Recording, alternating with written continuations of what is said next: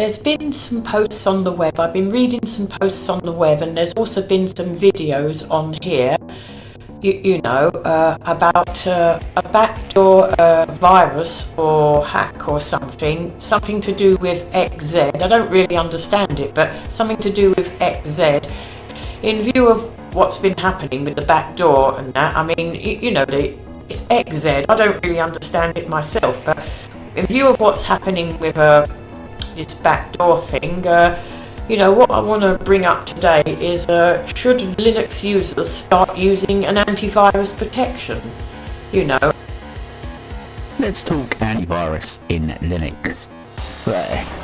As we just saw from Andrew's video about um, XZ, there's some general worry around the community about protecting yourself and what you can do.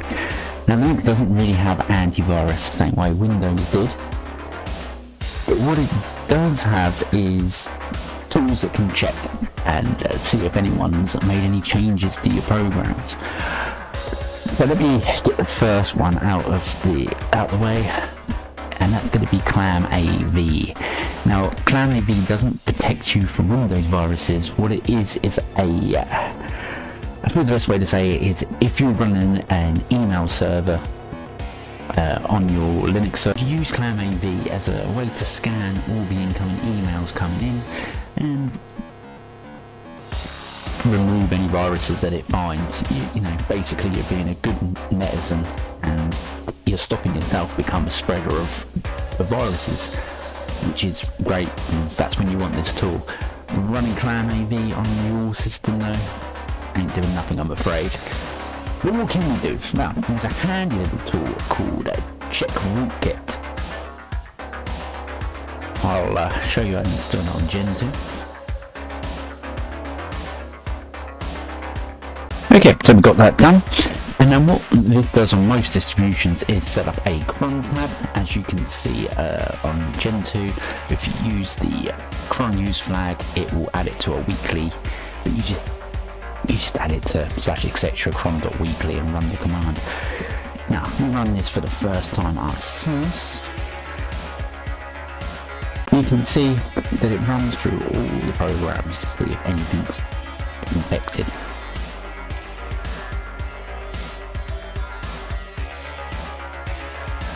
So while this runs, let's go over some of the things um, why Linux is a little bit more secure than the way Windows does. Well, the main one is the repository system. Everything that's packaged up is checked by many people before it gets added. So in Windows, yeah, you normally just go and download a random exe file from the internet, install it. It's rife for being ready to be abused, really.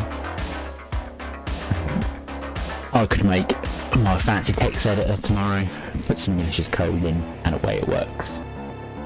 On Linux, we grab everything from a central repository system, so Gentoo I use the Portage system, Debian will be using apt, Fedora, whatever you guys use. We've got the benefit of many eyes checking it. Yes, things get past, as we've learned from XZ the other day. Um, there's not really much you can do about a, a very well targeted attack. But generally speaking, that is our main thing. Now, where Linux security will fall down is I don't know if you've seen the uh, rise of sudo install.sh scripts. That's a place that could be used as a backdoor. So things like that things you should be very wary about using. Um, also using um, user-based um, repositories such as AUR in Arch or Guru in Gentoo, there's a possibility of those not being under the same scrutiny as a main package. And something we've seen done. So what do we do in them situations when we need an application for them? Well, in those cases, you need to check really to make sure um, nothing has been done on them. Um, that's one of the main things. Never, never assume that you are too good to be hacked because that's what hackers are planning for. Another, um, another way you're getting hacked is, is if you notice on support forums, people paste commands around. It's the quickest way to get a fix out there. Now, generally speaking, for every command that's written on a site, there's three or four other people looking at that command to make sure it's okay. What you need to be very wary about is if someone's taking you into a private area, uh, like a DM or a PM, asking to help you there because if they're taking you into them sort of places that's when people are most likely to be putting malicious code onto your system and when you need to be most wary. So to wrap up what we learned here, security is a process not a switch. The Linux system itself is very good for this. It works to this policy rather than assumes it all on the user but we do need to remember we are the weakest link in the entire security thing. Us being desperate to get some code working. And we've all been there. We've all been there when that patch, that program, sorry, doesn't work. And we need to get it working today.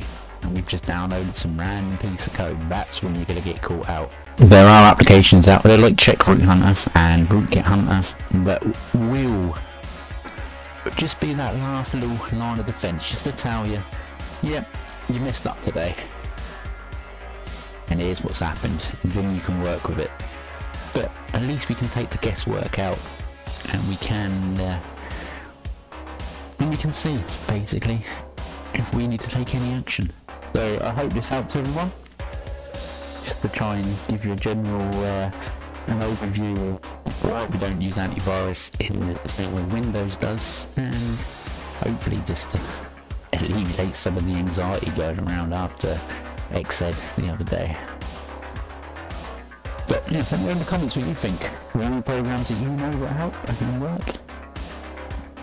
I'll be interested in seeing. But for now folks, keep compiling and uh, I'm just going to let this finish in the background because I feel like it's going to take a little while for its first run.